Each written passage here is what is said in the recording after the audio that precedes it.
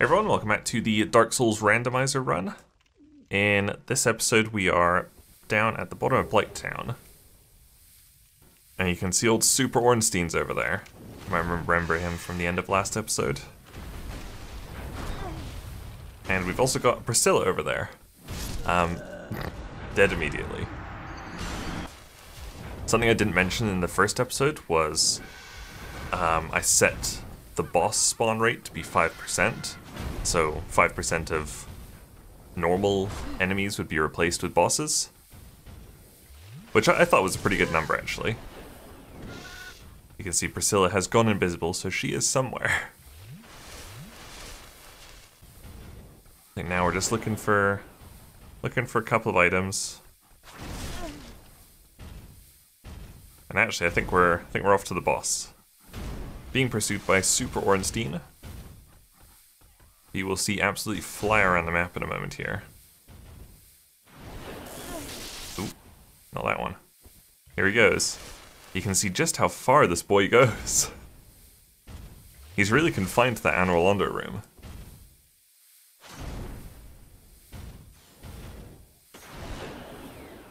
So down here we'll see a couple more T-posing enemies, um, because they're replacing the the maggoty egg boys and these enemies obviously don't have the, the crawling animation.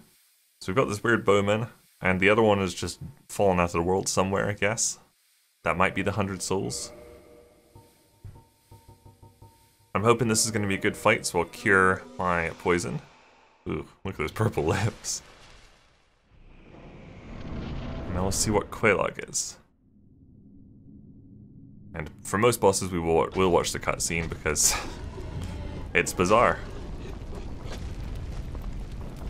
It's a very fun game to see if you can guess what the enemy is, judging by what textures actually make it onto the Quelaag model. I mean, th that should tell you right away, right? Something is stretched onto Quelaag's face there. I cannot tell what that is. Oh, it's Super Smough. Of course it is. So I'm at a, a big disadvantage here, because I've got a little lightning hammer. So I'm going to do very, very little damage to him. There you go, not much damage at all. I'm also at one Estus from just running from Super Ornstein before.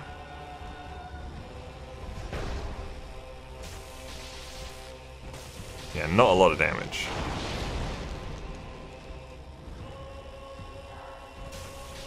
And this is a pretty tough fight.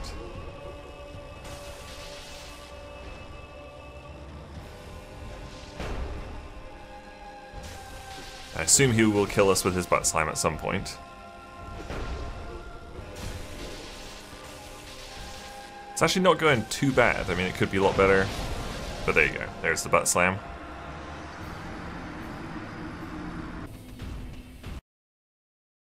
There's there's a crash. Uh, that's me showing you how it randomizes. But you might be interested in that. And when we're back... it's a nice way to join in, isn't it? You can see we do have another boss around. No, there's a Four King right there. And we had an Iron Golem somewhere else. Yep, good. So right to the boss. This time we've got Gwyn. Lord of Sunlight, who also is very, very resistant to lightning, and is also an endgame boss. So we'll see how much damage we can do to Gwyn. 57, so less than half of what we did to Ornstein, uh, to Smough, sorry. So obviously that did not last very long, so that was an instant re-randomize for me. And we got Super Ornstein. also incredibly resistant to lightning. I had some very, very unlucky rolls with these randomizers. So, re-randomize again for sure.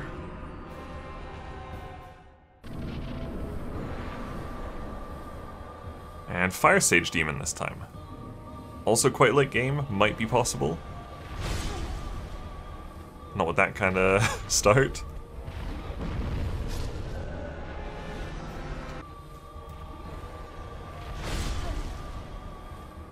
But we will try it again. Because we didn't even damage that one.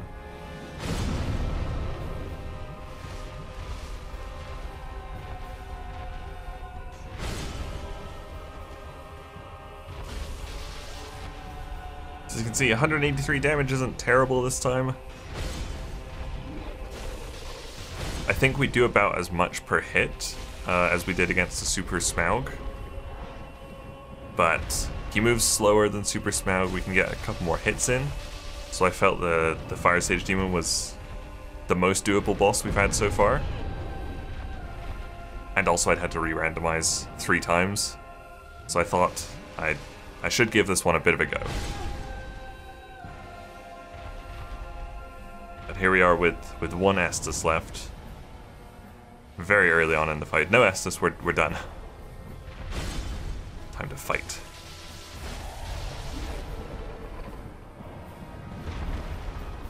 Also, the demon does have that useless butt slam attack, which is quite nice. You can pretty much always get two hits on it without having to worry about it doing anything too bad. So it was a pretty decent boss to fight. Just uh, the explosion attacks are pretty dangerous. I think they will kill me. I'm still poisoned as well here. You can see there just from a couple of him doing butt slams, I've got him down to basically a quarter health. Poison is still draining our health.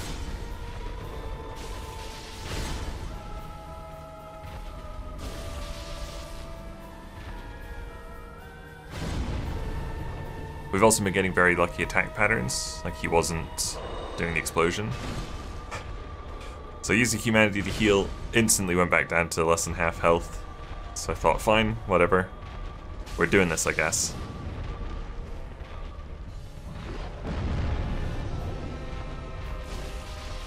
There we go. So I'm I'm discovering the the right trigger attack instead of the right bumper attack does a ton more damage. What was it doing before? Like 180 or something? So this does another 100 damage. That does a lot.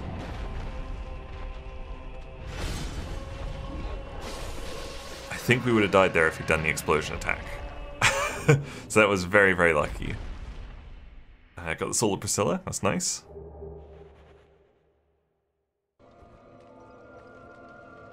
And we'll go grab this bonfire. Of course, we can warp already. Alright, so things are dying over there. So that's all the demons spawning under the lava. Because usually they would be immune, I guess. But they're just dying down there now. Uh, I killed her to see what she'd get, because it's kind of a key item. It wasn't a key item. So now we'll check out Demon Ruins. Again, these are replacing the crawling egg boys, so they're all T-posing, including Kalameet, which is pretty funny.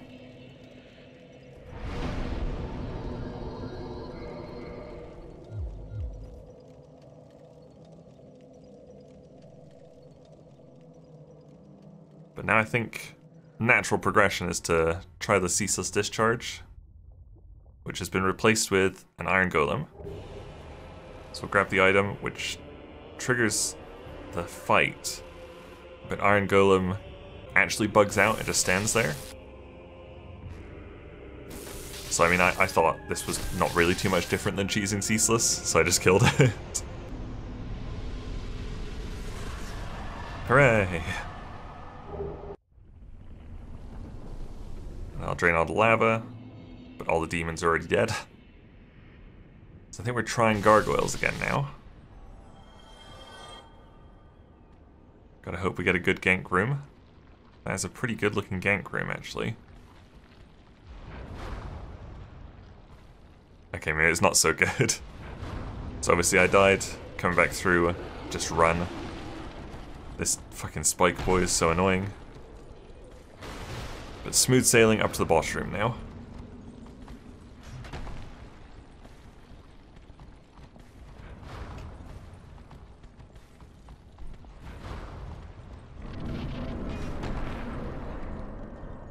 And this should give us another great cutscene. Oh, you can actually see what we're facing already. Sanctuary Guardian, and one of the demons. It's a little bit buggy.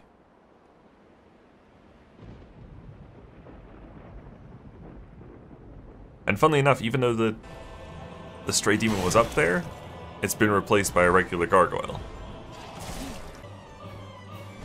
So you do actually fight one of the, the gargoyles, but then the old Sanctuary Guardian comes in to absolutely ruin us.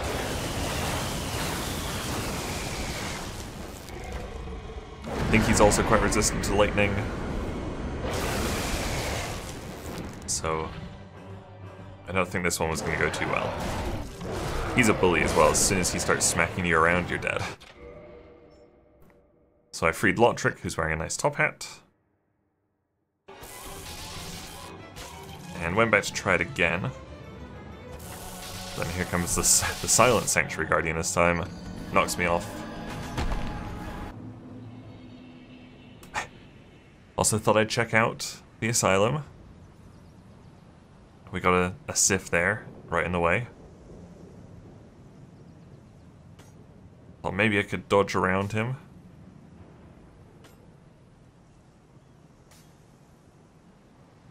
Because he probably couldn't fit through the door.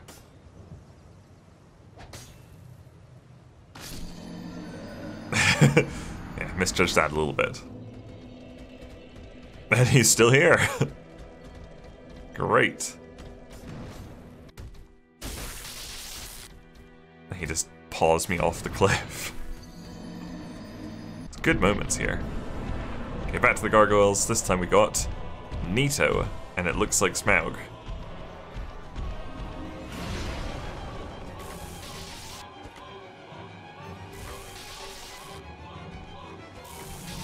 And it turns out Nito just isn't scary when he's not in Tomb of Giants. You can see his like his screaming blade thing just doesn't work here for some reason. That's the one where he stabs it into the ground and like a red blade comes out of nowhere. But yeah, it doesn't work. He doesn't have his skeleton, so he's really not that scary.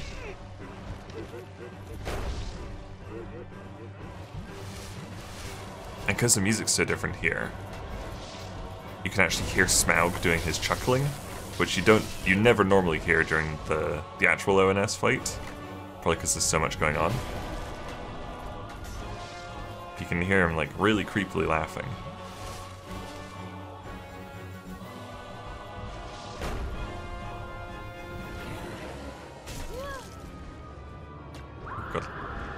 Okay, here comes the scream. Yeah, I'm still rolling, but just doesn't seem to work. So this time I'm not going to roll to test it. It just doesn't work here, for some reason. Here we can see that that attack actually damages the other gargoyle. So poor Smough lost like a quarter of his health there.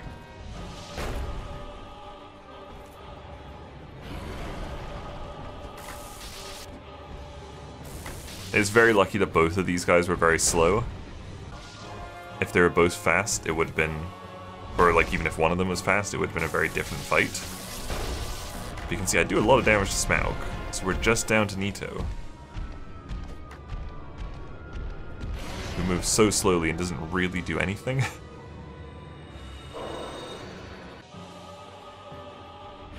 Uh, it took a while, but it was very possible to kill him.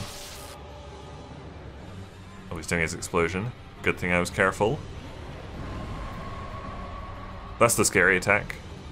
That's and like his grab, but that's about it. Yay.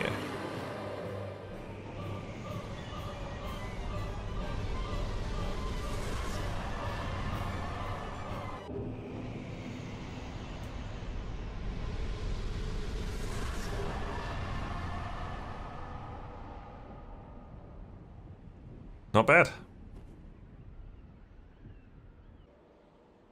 Uh, we can see what old Oswald has. Demon's Great Hammer for a thousand's pretty good. And Black Knight Helm for 500 is okay, nothing else really great. Sif's still here.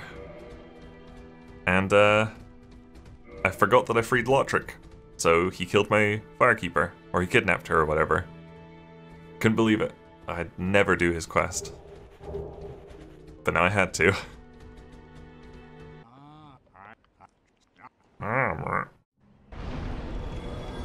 So I placed the Lord Vessel immediately. Which didn't fuck the game up, actually. Which is good. Things are dying all around for some reason. I don't know what they are. Back down here in Darkroot Garden. Just to grab some things and probably do Moonlight Butterfly.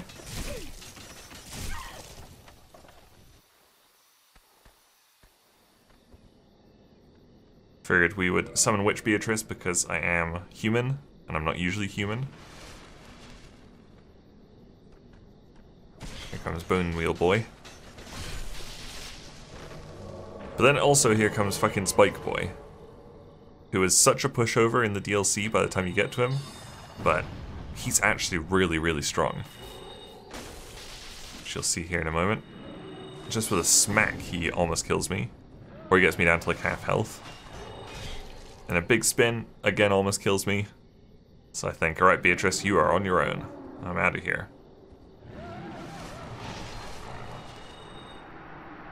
And that is the sound of Beatrice dying. And it looks like we got Seath. Great. Should be a great fight. But for some reason, he also bugs out. and does not fight back or do any attack or anything. So I think, sure, I'll take it.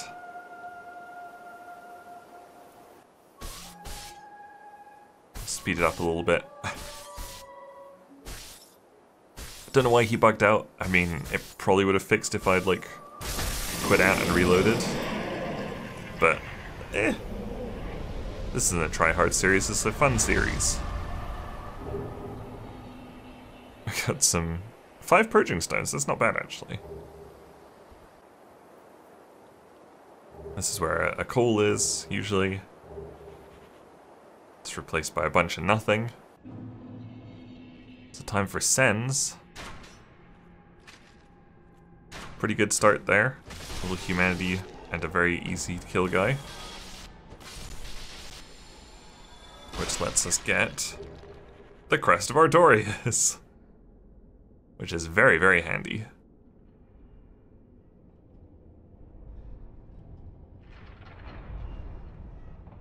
And going into Sen's, I thought it was going to be a lot harder. But the reality is, a lot of things just end up getting pushed to the deaths. Not this dog, obviously. But yeah, you will just periodically see souls popping up in the bottom right, because you go, something just fell. Yeah, a lot of things just end up getting pushed off. It's still fairly tough, obviously, it always is. I think it, it might be a bit easier. Really depends what you get randomed in there, though.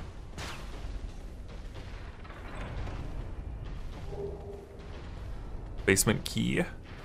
That's good, that takes us down to Lower Undead Burg, which opens up like Capra Demon and another key item for us. We got this weird bird lady who gets flung away by the boulder.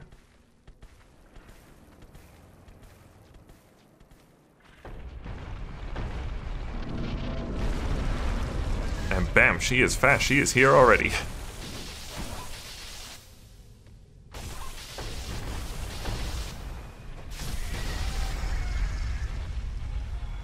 But she still dies pretty easily. Little mosquito. That's good. It's good for us. Okay, I, I figured I should wait. Just to be sure. Don't run too early or you get just bounced back by it. So we should just about make it. Actually, we got very unlucky there. We still we got hit by it twice, but it didn't kill us. So we made it. That is the hardest part, pretty much, I think.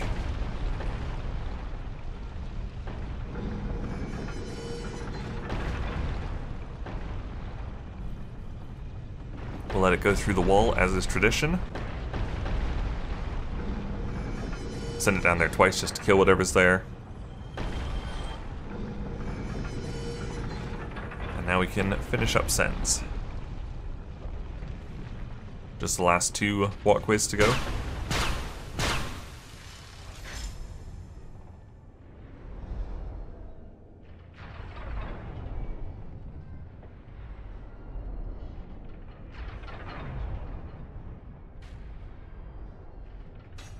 skeleton is here in the corner. He dies in one, two shots though.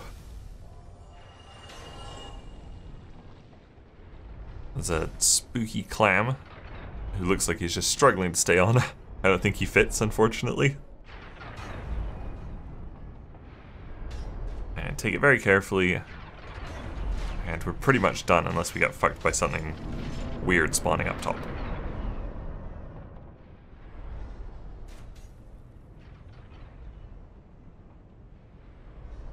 I don't think we'll see any explosions because there's nothing to, to throw the boulders. Paladin leggings, not bad. And we got the bonfire, we didn't even get chased by a, an enemy. Usually end up with a snake boy in here. Firekeeper soul, that's great. Great drop. Uh, this NPC sells a second fat bring, which doesn't work unfortunately. It's just down quite low. There's another item down here. The, obsid the Obsidian Greatsword is very good.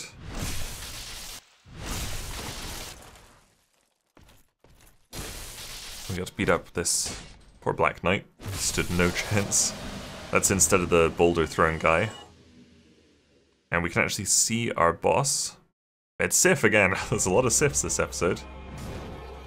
Thought I'd summon Tarkus because I was human, and I never summon him ever. Ow. Freaking Sif hits hard still. This is still very early game, obviously. I've done, like, literally the two bell bosses, that's it. Now keep an eye on uh, Sif's health bar when Tarkus does a hit. You'll see Tarkus hits like a truck. There you go. think he took off a, a quarter at least in two hits. You can see how much I do with a, a strong attack. Probably just slightly less than Tarkus does. So between the two of us, we just bully this poor dog.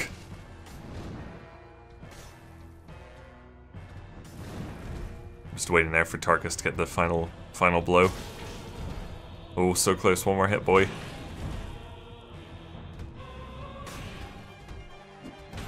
I'm just like, right, Tarkus, if you won't do it, I'll do it. We did it. Great work, Tarkus.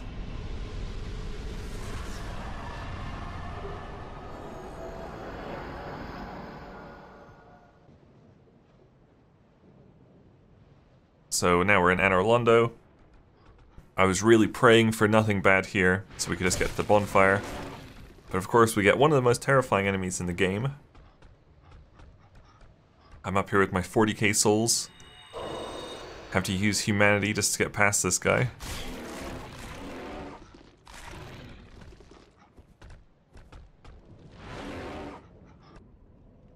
It was probably the worst enemy to spawn there, honestly. like, wide enough that he took up the whole thing so I couldn't run past him. Really strong.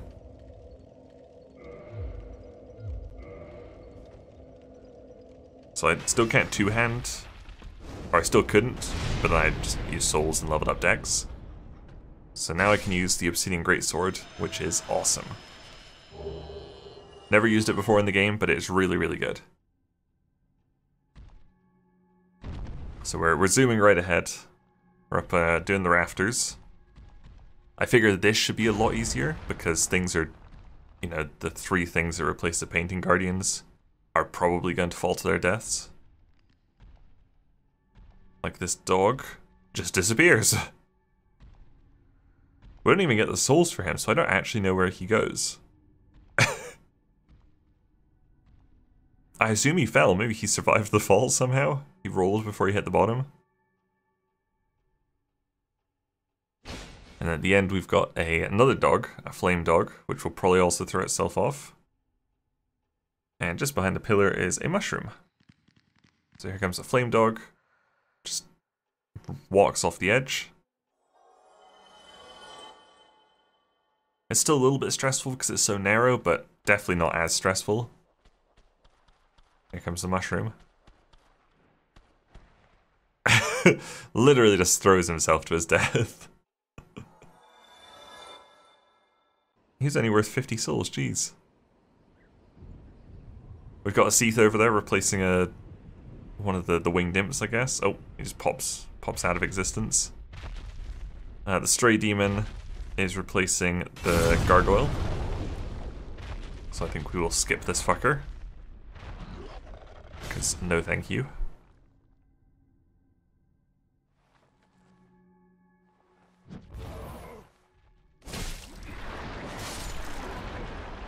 God, you can hear the sloshing. You know what that means. Old glitchy Seath is still here. I think this one actually attacks.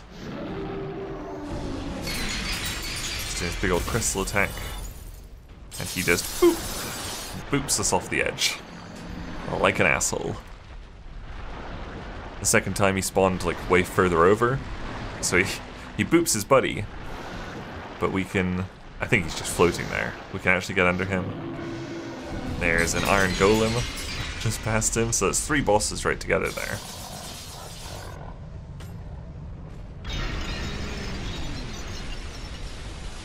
And this should also be considerably easier without the archers. You can see we've got like a club boy on the left and just a stationary guard on the right. I think Seath finally plunged to his death there, possibly the golem. It's 30,000 souls, so it's probably Seath. Club Boy's slow, we can ignore him. I was kind of hoping we could fit between this guy's legs. But not quite, so we'll just attack him. And he just dies in one shot for some reason. And that means we can just mosey along and grab the bonfire.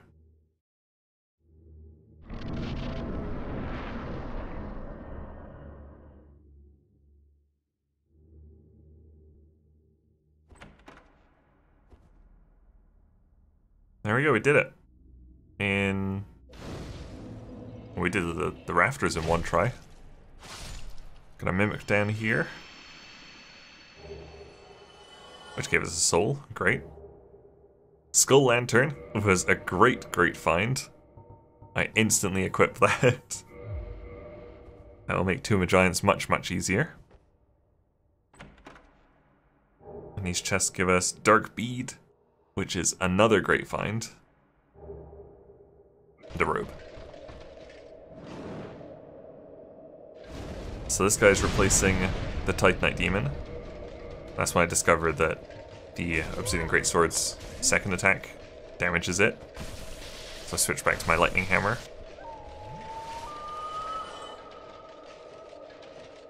And you can probably hear clumping away. That was Artorias somewhere. Does he have anything? He had the Pyromancy Flame that we've been looking for for so long. So I could try and finally try out Black Flame. It's got very, very short range.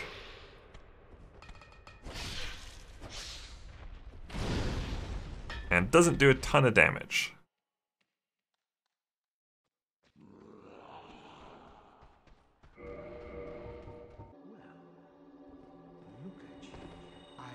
I didn't even realize one of his buddies has uh, the Mask of the Mother or something. Like a moth flittering towards a flame. You no? Don't you agree? so his boys just get stuck down there pretty much. So it's just me and uh, Lautrec.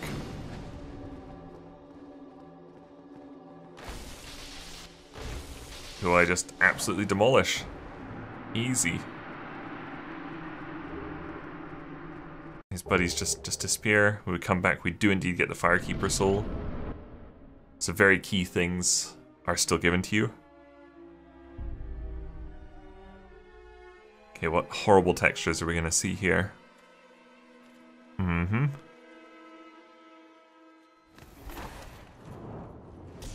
It's got horns. It could be the fucking Sanctuary Guardian again. It sure is. I recognize this fucker. And a clam instead of Smough.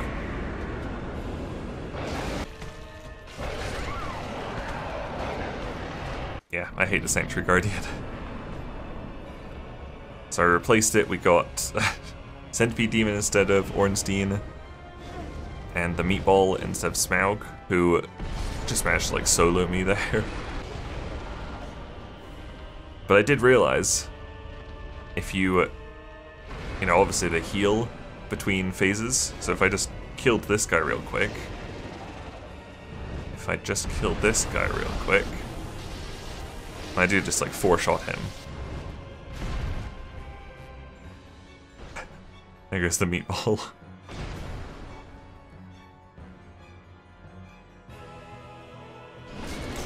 There's an invisible hammer there.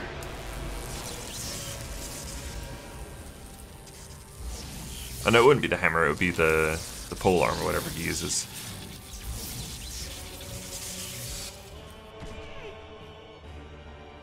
And what actually happens is because Super Ornstein and Super Smough are considered separate bosses, it actually replaces whatever your original Smough was, or Ornstein or whoever. So I re-rolled again because I didn't want to fight Nito again. We start with a Super Smough. And Little Mushroom, who we can three-shot this time. Which will replace Smough with Sif. Who we've also fought like four or five times in this episode alone. I'm trying to think if there's any bosses I like never see. I think I think I probably see every boss at one time. But there's some I definitely don't fight.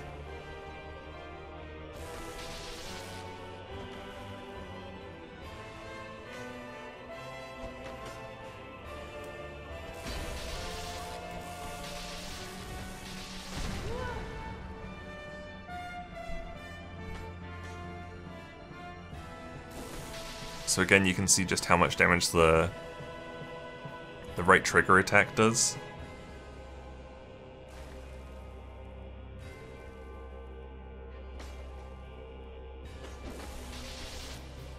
Sif's a fun enough fight anyway. Especially when you're pretty overpowered.